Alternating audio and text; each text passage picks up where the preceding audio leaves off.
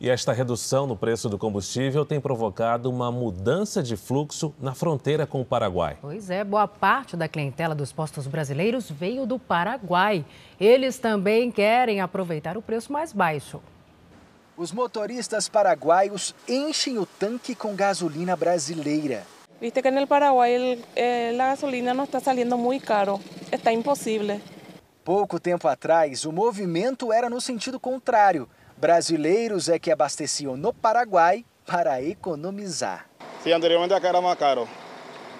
Agora mudou, acá mais barato. O comerciante paraguaio segue para a capital Assunção.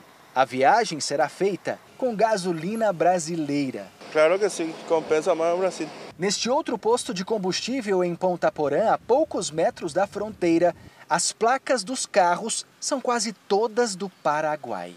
Há anos não se viu uma situação como essa aqui na fronteira. Olha só, um, dois, três, quatro, cinco carros que eu consigo ver aqui nesse posto no Brasil. Isso mostra que o jogo realmente virou. Atualmente, o litro da gasolina aqui no lado brasileiro da fronteira está cerca de um real mais barato em relação ao mesmo produto oferecido no país vizinho uma coisa puxa a outra, né? A baixa do combustível, aquele dinheirinho que para o povo já está sobrando no combustível, o povo está investindo já em outra área, né?